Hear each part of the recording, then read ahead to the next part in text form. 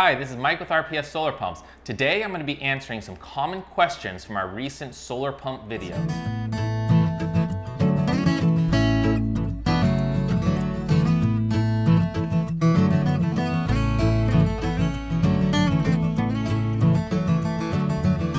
Today's question is, can your solar pump system be used for fire suppression on my ranch?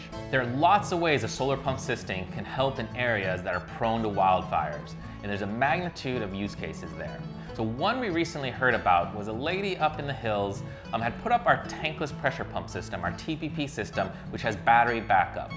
And when the wildfire came through, she was able to set a sprinkler on her house and on the property to run, and using the available solar plus the battery backup, she left the sprinkler running and actually ended up saving her house and her farm. The area all around it burned, but with the sprinkler running, that was enough water to save the house. And so she wrote us saying how great the system was and thanking us. She even came by to show us her solar panels, which were scorched and had started to melt, but were still producing power throughout the fire in order to help power that pump. So one thing you do want to think of is that when we're running directly off of solar, in the smoky conditions, that can reduce the amount of water being produced.